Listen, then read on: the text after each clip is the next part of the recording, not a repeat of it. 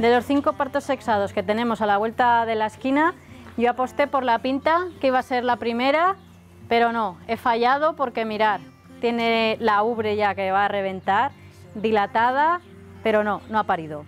La que apostó Mayayo, pero como lo veis también está a puntito, a puntito, a puntito, ya tiene el moco dilatada completamente, la ubre. Y después tenemos la peligrosa y explosiva, que es la, la gordita, que ya lo veis, ¿no? que también está a punto, la apuesta de Laura. Pero bueno, ya habéis visto que los tres hemos fallado y no hemos iniciado los partos sexados con estas tres vacas. Pues los partos iniciaron con, con Chula, la vaca roja que no apostábamos. Bueno, yo, yo dudaba entre la pinta y Chula. Sí, claro, ahí lo decimos a toro pasado. Pero bueno, pues iniciaron con Chula. Y sí, por fin ya le ponemos cara al pequeño. Hemos salido un poco de dudas, aunque sigo estando preocupada con el resto. Porque porque nazca uno bien no significa que todos vayan a ser igual. Entonces Chula parió bien. El parto fue fácil, ya lo veis que es un ternero chiquitín. Eh, aunque sean semen sexado, pues hay que corroborarlo, ¿no? Y si, si no falla, es un macho. Lo único, el problema de este ternero, pues que pensábamos que la primera toma sí que le ayudamos, pero en las siguientes, pues yo pensaba que tetaba solo. Y sí que lo levantaba, me lo miraba, veía que estaba estrecho y no sabía muy bien la causa.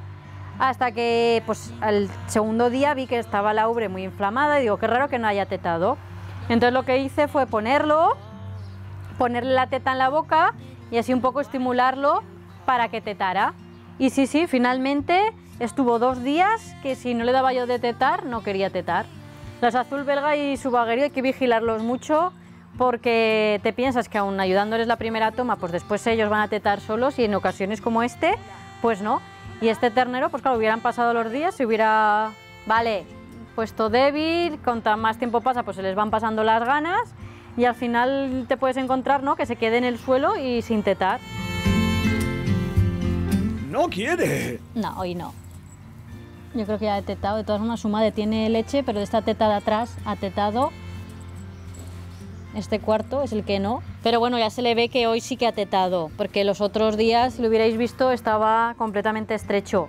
Por la noche sí que lo ponemos aquí solo con su madre, pero durante el día pues lo sacamos, ¿no? Que tome el sol y, y que esté más, más abierto. La madre es chula, la madre de Chulita, que está en la loma, que ya la conocéis, la que lleva la campana. Y este parto pues la hemos inseminado con azul belga, porque de hecho pues el 90% de las vacas este año las inseminábamos con, azul belga y además pues estamos empezando ¿no? esa prueba con el semen sexado. De momento vemos que, funciona y la verdad pues que es una forma de sacarle mayor rentabilidad ¿no? a los terneros y a los partos. Así que ahora vamos a sacar a Chula y a su hijo, eh, que ya estás impaciente por salir, eh, Chulita. Venga, hora de salir a la calle. Sí, venga. Primer parto de semen sexado azul belga para macho superado. Esperemos que vayan todos así de bien. Que tenemos un poco la incertidumbre, de hecho entre yo y mi padre pues estamos bajando a las 12, a las 3 de la mañana antes de irse a trabajar, a las 7, un poco por la incertidumbre. Y esto es así, basta que un día que, que, no bajamos, que no bajemos, pues entonces te la lían. Pero bueno, hay que tener fe, ¿no? Que todo va a ir bien y os iré contando a ver qué tal van. Te deseamos mucha suerte con esos partos que esperan a la vuelta de la esquina.